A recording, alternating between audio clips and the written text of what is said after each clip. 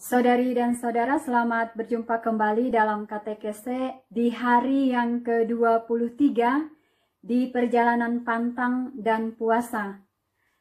Saya mengisi agenda harian saya ini dengan mengutip dari khotbah di bukit di dalam Injil Matius bab 5 ayat 3.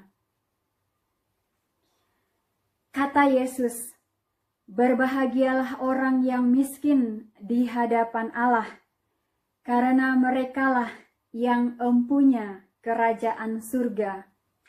Dalam agenda ini, saya menuliskan demikian. Miskin di dalam batin.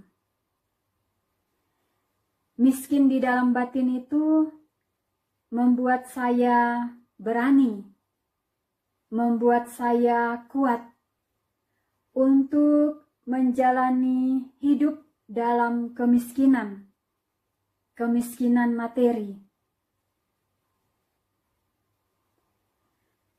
Miskin di dalam batin membuat saya untuk selalu berseru kepada Tuhan Allah Bapa untuk hanya mengharapkan pertolongan kepada Tuhan Allah Bapa.